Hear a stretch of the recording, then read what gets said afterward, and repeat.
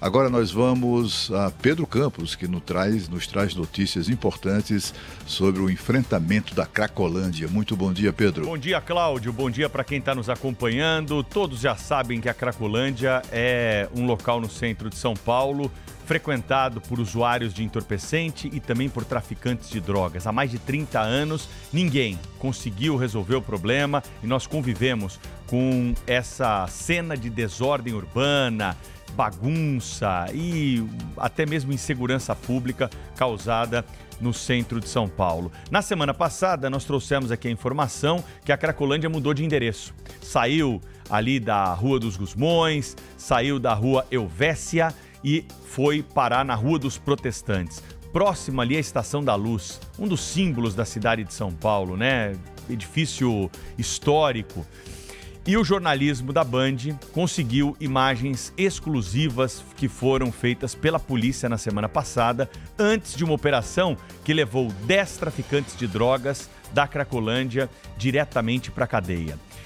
O rapaz que aparece nas imagens de blusão azul, boné preto e óculos escuros é um dos traficantes que está preso. Nas imagens é possível ver ele manipulando grande quantidade de dinheiro. Tudo acontece muito rápido.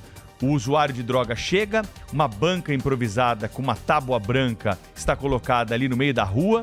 Eles usam né, pedaços de pano e até mesmo um guarda-chuva como uma espécie ali de cobertura para tentar de alguma forma impedir a visualização do que está sendo negociado. E a partir daí, nós temos então o tráfico de drogas configurado. Por que, que essas imagens elas são importantes e são inéditas? Porque a polícia descobriu que prendia bandidos, chegava na audiência de custódia, esses bandidos diziam o seguinte: não, eu sou um usuário de droga, eu estava lá na Cracolândia porque eu sou viciado, eu vou lá para comprar a droga, eu não tenho nada a ver com o tráfico de entorpecentes. Como não é feita uma apreensão muito grande de entorpecentes com esses criminosos, a justiça muitas vezes acabava liberando e nós trouxemos essas notícias aqui. Agora, com essas imagens, não tem o que discutir. O sujeito está ali manipulando dinheiro, recebendo dinheiro, entregando a droga. O que, que ele está fazendo? Tráfico de drogas.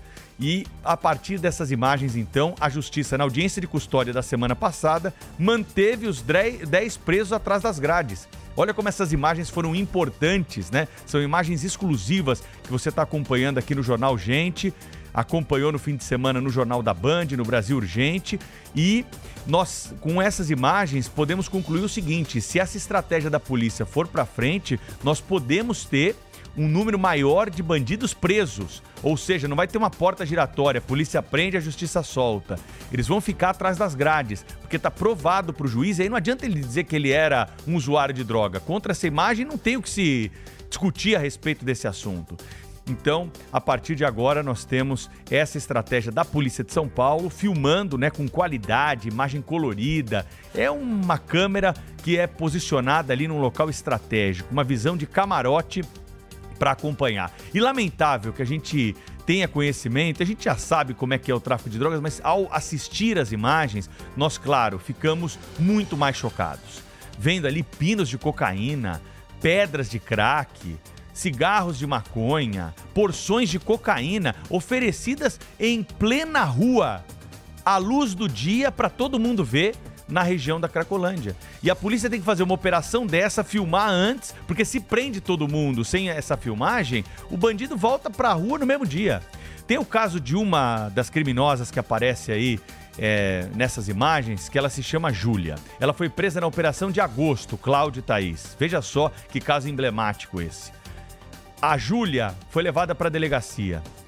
Na frente do juiz, ela disse que era usuária de drogas e que tinha uma filha pequena para sustentar.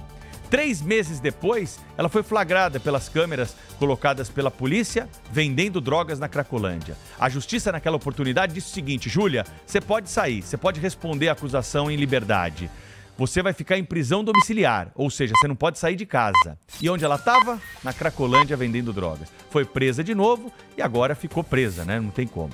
Além dos 10 presos, tem um menor também envolvido aí nessa história toda, que foi apreendido, nunca teve passagem pela polícia e ficou internado na Fundação Casa.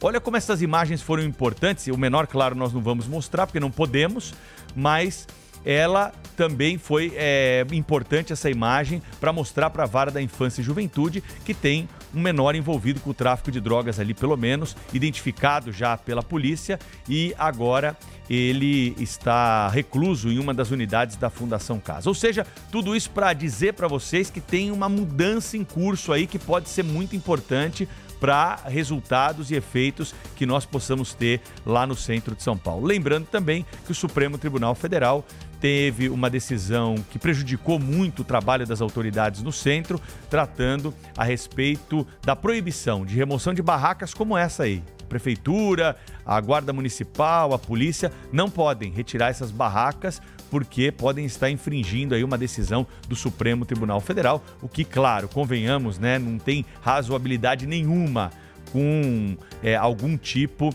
é, de situação que nós possamos ter de tolerância com o que acontece no centro de São Paulo, nessa área batizada de Cracolândia. Acompanhando aqui as imagens, Pedro Campos, quantas mulheres também, não é? Participando da venda e da compra de drogas dá uma dor no coração de ver essas imagens, porque é um ambiente totalmente inóspito, com muita sujeira, muita gente, pessoas em condições diferentes, todos eles ali claramente precisando de algum tipo de ajuda. E aí, Pedro, essa mudança que você cita é das mais relevantes, porque às vezes é difícil, numa situação como essa, você separar quem é usuário de quem é traficante. Porque às vezes quem consome também trafica. E aí, na hora da, da identificação durante o processo, ele estava passando por usuário e não por traficante. Espero, estava aqui pensando, Pedro, que a localização dessas câmeras e que o modelo tecnológico usado pela polícia não seja descoberto pela criminalidade, porque esse é um instrumento muito, muito importante. É, a polícia tem uma estratégia, viu, Thaís? Até porque é, a Cracolândia, Cláudio, você sabe disso, ela acaba sendo itinerante, né? Não é sempre ali no mesmo lugar que está montada a, barraca. Às vezes os próprios, o próprio fluxo, né, como se diz, ele acaba migrando de um dia para o outro, de uma região, de determinados horários do dia, da noite. Então tem essa essa mudança. Mas essa tecnologia é do setor de inteligência da seccional centro da Polícia de São Paulo, que usou inteligência. E é isso que a gente cobra aqui da, das autoridades. Não dá para resolver o problema de uma hora para outra, né? A gente já sabe, já se tentou resolver de uma hora para outra, mas não, não, é possível a gente também abandonar como a Cracolândia foi abandonada há muito tempo. Por isso é louvável, né, sempre destacar aqui a posição daqueles atores que estão trabalhando para tirar a Cracolândia de lá. Se vão conseguir ou não, são outros 500. Depende de outros fatores, não depende nunca de uma pessoa só, viu, Cláudio? Pois é, é uma situação dramática a gente também assistir do ponto de vista das autoridades policiais, né? Porque já lá se foi o tempo em que polícia tinha fé pública, né?